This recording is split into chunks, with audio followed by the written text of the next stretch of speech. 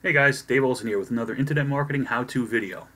Today we're talking about autoresponders and specifically a free autoresponder. Um, and that is MailChimp and that's at M-A-I-L-C-H-I-M-P.com.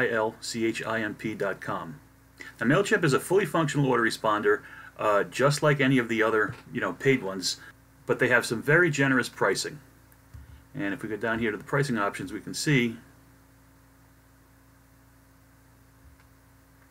that they uh, they start at ten dollars a month for their paid, but their forever free plan actually gives you up to 2,000 subscribers and up to 12,000 emails per month. Uh, so that's a, a, big number, and you're you're not paying a dime for it. The sign up does not require a credit card. You just you just click on the uh, the sign up for free button and enter your information, and you can start collecting leads in half an hour.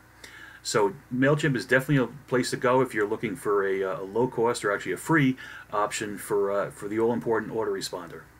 So good luck and thanks for listening.